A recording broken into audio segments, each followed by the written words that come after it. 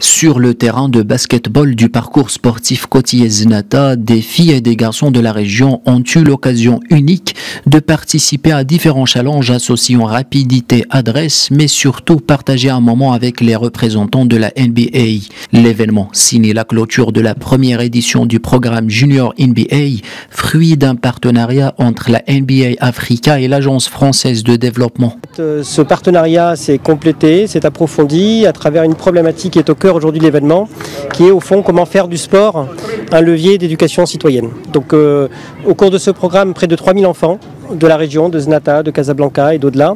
euh, participeront euh, à des ateliers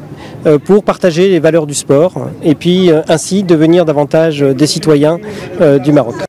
Concrètement, le programme qui s'est déroulé entre les mois d'avril et juillet 2021 totalise près de 800 ateliers de basketball et séminaires sur les compétences pratiques, soutenus également par l'association des quartiers Idmej. Cette initiative s'inscrit dans le cadre des efforts des villes de Znata et Casablanca pour sensibiliser la jeunesse marocaine au développement durable et à la citoyenneté. Euh, le basketball expérience, euh, euh, comme on le dit, c'est une expérience magique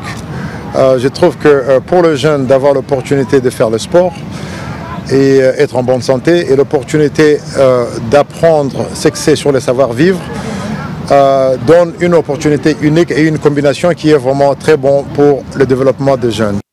Mise en place dans 15 pays africains, dont le Maroc, le programme junior de la célèbre Ligue de basket américaine vise à enseigner les compétences fondamentales ainsi que les valeurs essentielles de ce sport, notamment le travail d'équipe, le respect et la détermination.